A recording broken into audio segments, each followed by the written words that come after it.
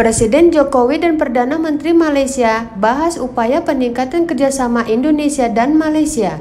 Presiden Jokowi menyampaikan bahwa pemerintah Indonesia dan Malaysia telah menyepakati MOU mengenai wilayah perbatasan Indonesia dan Malaysia yang akan selesai pada tahun ini.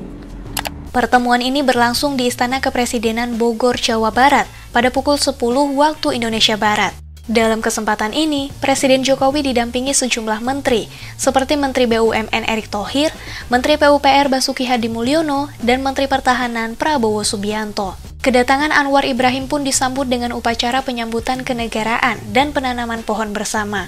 Gak cuma itu, sebelum memulai agenda bilateral resmi, Presiden juga nampak menyopiri Anwar Ibrahim keliling kebun raya Bogor. Dalam keterangannya, Perdana Menteri Malaysia ini bilang hubungannya dengan Indonesia cukup spesial dan sentimental. Semasa kita agak sukar, hidup dalam keadaan terumbang ambing, derita, itu Indonesia itu menyambut kita sebagai sahabat sejati.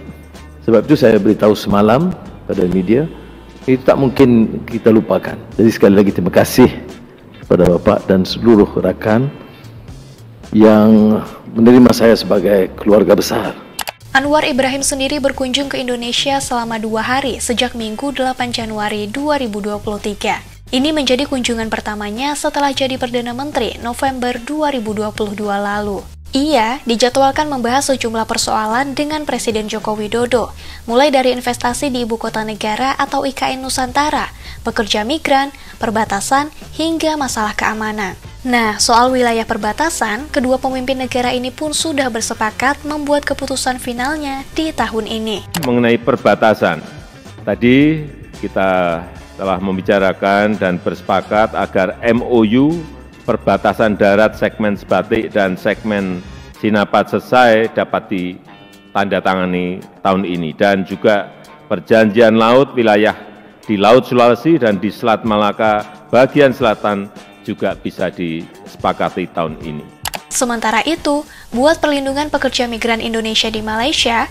Presiden juga mendorong diterapkannya One Channel System untuk perekrutan dan penempatan pekerja migran Indonesia di sana. Dalam pertemuan ini, juga ada 11 Letter of Intent atau LOI alias surat pernyataan minat untuk berinvestasi di proyek IKN Nusantara. Belasan dokumen ini diteken investor atau sektor swasta Malaysia dan telah diserahkan ke Badan Otorita IKN. Sektor swasta ini di antaranya bergerak di bidang elektronik, kesehatan, pengelolaan limbah, konstruksi, hingga properti. Selanjutnya, Anwar Ibrahim pun berharap Presiden Jokowi juga bisa segera ke Malaysia untuk menindaklanjuti sejumlah kesepakatan yang sudah dilakukan.